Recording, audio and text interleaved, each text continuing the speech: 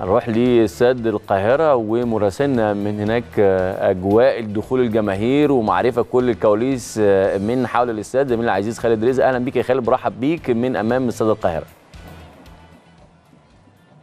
تحياتي ليك زميلي فتح الله زيدان وتحياتي لمشاهدين قناة تايم سبورتس في كل مكان. إحنا متواجدين داخل استاد القاهرة الدولي مباراة مرتقبة اليوم بين منتخبنا الوطني وبين أوغندا. بالتأكيد مباراة تكون صعبة جدا فتح الله. يمكن منتخب أوغندا النهارده بيسعى للفوز على منتخب مصر. يمكن كان في تصريحات مستر سباستيان دي ساب المدير الفني لمنتخب أوغندا وتعليماته للاعبين على التركيز في هذه المباراة والخروج بنتيجة إيجابية لأن أكيد النتيجة الإيجابية هتضع منتخب أوغندا في صدارة المجموعة. ولكن على الجانب الآخر منتخبنا الوطني مركز تركيز كبير جدا عنده حماس ودافع كبير للفوز النهارده عشان يسعد الجمهور الحاضر للمباراة اللي يمكن سامعين بعض أجواء في الاستاد للهتافات من الآن وحتى المباراة. بالتأكيد هتافات كتير ولكن لسه الدخول لسه ما فيش أعداد كبيرة من الجمهور ولكن أكيد هيكون في أعداد بتتزايد مع الوقت حتى ميعاد المباراة. عن البوابات يمكن البوابات هتقفل الساعة 8 مساء قبل انطلاق المباراة بساعة. وخلينا أيضا أقول لك فتح الله يمكن مستر خفير اجري المدير الفني لمنتخبنا الوطني امبارح في المران لمنتخب مصر على استاد الكلية الحربية.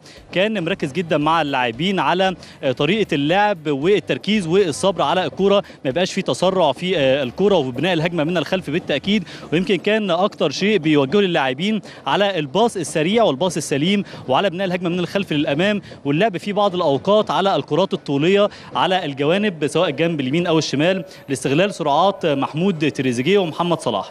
يعني زميلي فتح الله لو عندك أي سؤال اتفضل. الجماهير زي ما انت بتقول يمكن لحد ما لسه لم تمتلئ حتى الآن ولكن ماذا عن الدخول في سلاسة موجودة؟ ما فيش أي مشكلات زي ما شفنا في الافتتاح. عايزين نأكد على ده عشان اللي كل واحد قاعد في بيته ومستني إن هو ينزل المباراة. ما يبقاش قلقان من مشكلات البوابات ودخوله ليها والسيستم الخاص بدخولنا في البوابات الملاعب. يعني خلينا نقول فتح الله يمكن الدخول الملاعب خلاص إحنا بقينا معتادين على طريقة الدخول المميزة بقى في احترافية كبيرة جدا لمصر في طريقة الدخول وطريقة الخروج أيضا. الأمن بيتعامل مع الجمهور الحاضر بشكل حضاري جدا. أنا واحد من الناس أثناء دخولي لأرض الملعب كان في في التفتيش نظام في التفتيش كان في أسلوب كويس في المعاملة. وأيضا الجمهور الحاضر بيكون في تعليمات مهمة ليهم على الدخول بأشياء معينة ومنع دخول أكيد أشياء معينة ليهم ولكن بأسلوب حضاري اسلوب مميز الطرق للممرات حتى استاد القاهرة وحتى المداخل المختلفه لأستاد القاهرة. بيكون في تعليمات توجيهات من الفولنتيرز اللي موجودين خارج الاستاد على طريقة الدخول. مفيش حد بيواجه صعوبات مفيش حد من الجمهور بيلاقي أزمة ويمكن كان في حديث بعض الجمهور اللي كنت اتكلمت معاهم من قبل كانوا بيتكلموا معايا في إن الدخول أصبح سهل النهارده. وكان في زمان في بعض البطولات في مصر بيكون في بعض التدافع على بوابات الاستاد ولكن في هذه البطولة لا يوجد تدافع لا يوجد أزمات. كل شيء على ما يرام واكيد شيء فخر لينا كلنا كمصريين إن نشوف في احترافية في الدخول والخروج وبعد وضع ال Fan ID بالتأكيد ونظام ال ticket الجديد أكيد بقى الموضوع أسهل واحترافي أكتر.